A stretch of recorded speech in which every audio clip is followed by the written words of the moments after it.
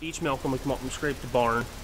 And what we got is a 30 inch pipe that lays in the end of the barn and it starts at four and a half foot up there and ends at six foot deep down there. So there's a one and I think a one and a half percent slope. So that way it's just all gravity fed right into the little pit. And then in turn, you know, like gets pumped over to the big storage. So yeah, before we did the manure pit, the big manure pit, we used to, we got a 56,000 gallon pit here. We used to have to spread every 11 days. And it just got so hard to do, especially in the winter and the spring when it's wet and all that stuff. So that's was the big reason for doing the big the big manure pit is because that just got too hard and we go in and cut up our fields and we're strictly no-till and you know we didn't, didn't like cut the fields up. So that was the that was the big reason for the new manure pit. But yeah, we set our pump up right here and just come up with a spreader and back right in. I think it takes us a minute and a half to load the spreader and we're off.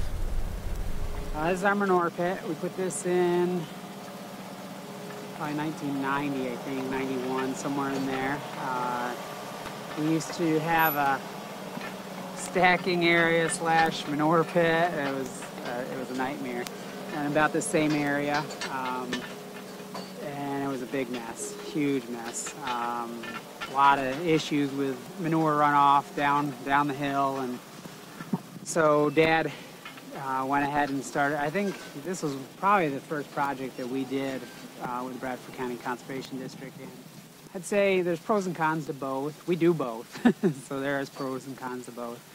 Um, if you're going to do the, the more solid manure, um, you're going to be spreading more throughout the year. Uh, you just it's just another chore that you have to do, uh, and you've always kind of got that issue. You know, it's like if it's really cold, you got to get the tractor going, got to get the manure spreader going. So I would say that's a con to having the solid manure. Um, the pro to having the solid manure is you don't have a hopper to plug up. Uh, you don't have to, to rent, well, unless, no, you probably don't have to rent a big liquid manure spreader unless you own it. Um, or, or hire somebody to spread it because you can do it yourself pretty easily. a huge pro to the liquid manure is it goes out the pipe. Every morning I run the manure out while I'm milking cows and and does it all itself. As long as I get the manure into the drop, it goes out and comes out here and I don't have to look at it again until probably about July. Uh, and another huge pro to the, to the liquid manure system is um, it's usually, especially for our setup, we have two guys that are spreading, myself and our neighbor and our neighbor has a really big manure spreader, and we rent a 4,000 gallon manure spreader, so we can have it all done in two days.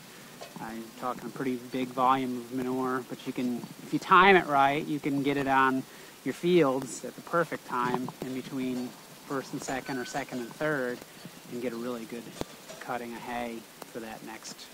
And that worked out really well for us this year. We put it on after our second cutting while it was still dry and then we got a lot of rain, and our third cutting was really, really good. So you can time things a little bit better then. You're getting a little bit better use of your nutrients, I think, when you really need it, which is a good thing to have on an organic farm. This is where our hopper is. Uh, for anybody who's put in a manure pit and has a hopper, you know the trouble that that can be, but um, we've learned how to maintain that properly and try to, to keep keep the manure flowing through it and what not to be putting in it. And, so that we don't have issues with it as much as we used to. So kind of a big learning curve. All gravity flow, yeah, no pumps or anything like that. We got cost share money to help with the pit, the underground storage, and we built a facility that would suit our needs uh, to house all of our animals, all the way from weaning, all the way up to bred heifers, uh, and put this whole project together with the Conservation District, like I said, in 2003. Uh, it's, it's been fantastic for us. We've been able to get our heifers out of the watershed, retain all of our nutrients, nutrients here.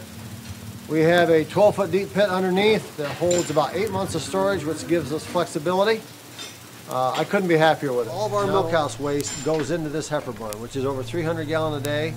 So we have massive amounts of water in there, and that's what really makes it work. And we pump out of the center lid, right where the skid steer is. That's where we do all of our pumping. But every fall, I will go in each end and agitate and stir it and loosen that up. But most of it will come right towards us in the center, and we can get 90% of it every single time right out of the center, as long as we have liquids. Well, liquid manure is by far and away the most efficient way to handle, handle manure. Uh, the bucket loading process of dry manure uh, is very inefficient. With that said, you got to be able to control the water. You can't have excess amount of water. Uh, we have a 12 inch piston pump underneath the barn cleaner, pumps it out into the middle. This is on a slope, gradual slope all the way down 14 feet deep at the back. It's an Acorn Monster Manure Transfer Pump. Uh, we are on our second power unit since 1977. I think our fourth pump. Uh, absolutely something that you don't want to have to have, but we have to. We don't have gravity. Gravity is ideal. If you can get gravity flow into your pet, it's, it's perfect. But you do what works for your system. And every farm's different.